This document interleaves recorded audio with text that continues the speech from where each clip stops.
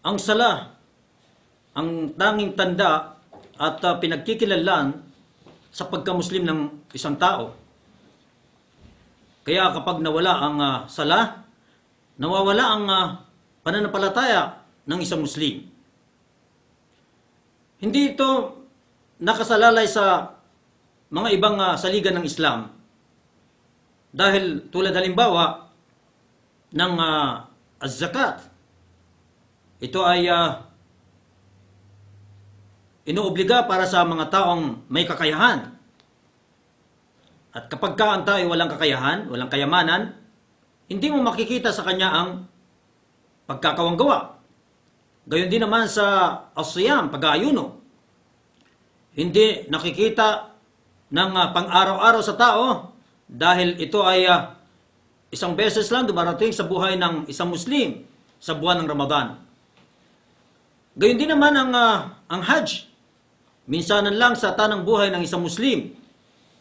Kung siya ay may sapat na kakayahan, nagugulin sa pagsasagawa ng Hajj. Kaya ang tanging sala lamang ang uh, pinagkikilalan upang ang tao ay masasabing Muslim. Kaya kapag ka ang uh, isang Muslim ay uh, tinalikuran ang sala, para na rin niyang uh, tinalikuran ang, uh, ang kanyang pagka-Muslim. Batay sa sinabi ng Propeta sallallahu alaihi wasallam, Al-ahdu alladhi baynana wa baynahum as-salah. Wa man tarakaha faqad kafar. Rawahu Ahmad wa Tirmidhi wa Nasa'i wa Ibn Hibban wal Hakim. Nang ibig sabihin ng sinabi ng Propeta sallallahu alaihi wasallam, ang kasunduan na namamagitan sa amin, ibig sabihin sa aming mga Muslim at sa kanila, sa kanila ng mga hindi Muslim, ay ang sala. Sino mga tumalikod nito at hindi isinagawa, tunay na kanyang tinalikuran ang kanyang pananampalataya. Nang ibig sabihin, mawawala ang pananampalataya ng isang Muslim kapag hindi niya isinabuhay, hindi niya itinaguyod ang uh, sala. Dahil ito lamang ang siyang pinagkikilala sa isang Muslim dahil pang-araw-araw na tungkulin at uh, bukod pa sa pang-araw-araw, limang beses na isinasagawa sa isang araw, kaya hindi na itatago ang pagiging Muslim sa pagdarasal ng uh, isang tao.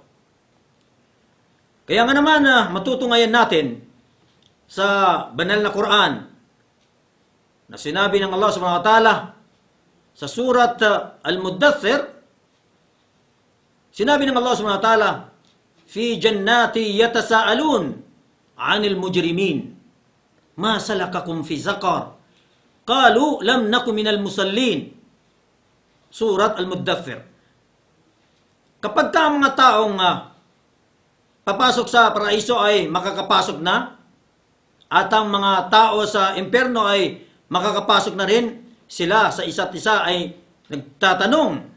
Tatanungin ng uh, mga tao sa paraiso ang mga taong papasok ng impyerno. Sasabihin nila ano ba ang dahilan ng pagkapasok nyo sa impyerno? Sila ay magsasabi kami ay hindi nagsasala. Ang ibig sabihin, walang pag-alinlangan na kapag ka ang isang tao ay tuwirang tinalikuran ang pagsasagawa ng limang beses na sala, siya ay walang pag-alinlangan na papasok ng imperno waliyado billah. Ang tanong, ang mga taong hindi nagsasala, ang sila lamang bang papasok sa imperno? Sagutin natin ito sa pamagitan ng uh, isang talata sa banal na Quran na sinabi ng Allah subhanahu wa ta'ala sa surat Al-Ma'un sinabi ng Allah lil musallin alladhina hum an salatihim sahun Nang ibig sabihin ito kasawian kaawa-awa yaong mga taong nagsasala, nagdarasal, bakit? Sapagkat sila sa kanilang pagdarasal ay walang pagpapahalaga.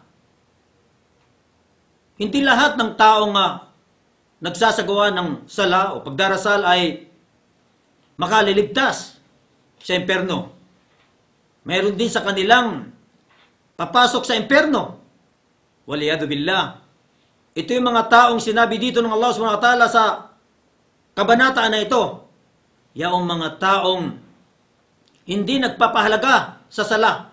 Sa paanong paraan?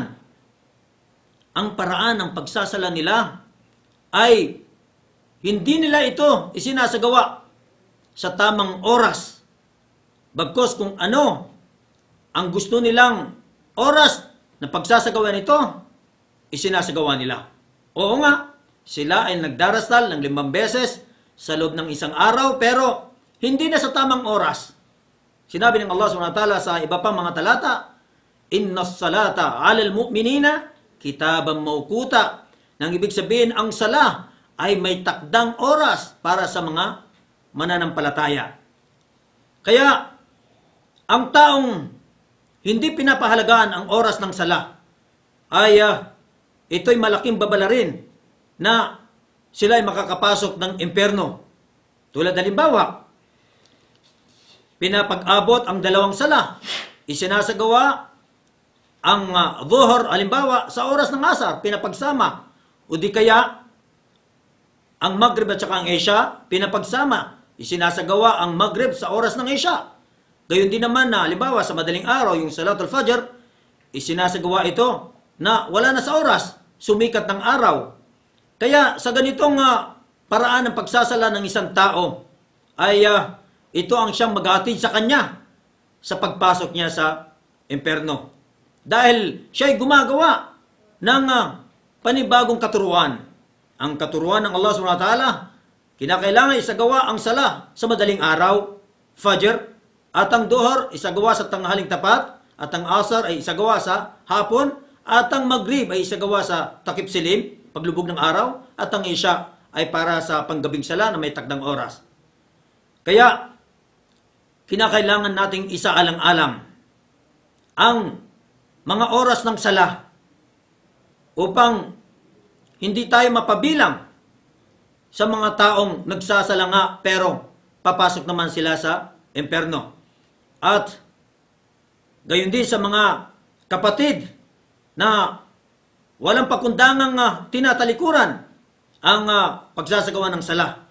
Dahil sa iniisip nila, sila ay Muslim, meron silang certificate, o di kaya sila ay mga uh, anak ng uh, mga Muslim, ang kanyang mga magulang ay mga Muslim, ang kanyang mga ninuno ay mga Muslim, hindi nakasalalay sa angkan, hindi nakasalalay sa dugo, hindi nakasalalay sa papel o anumang katibayan.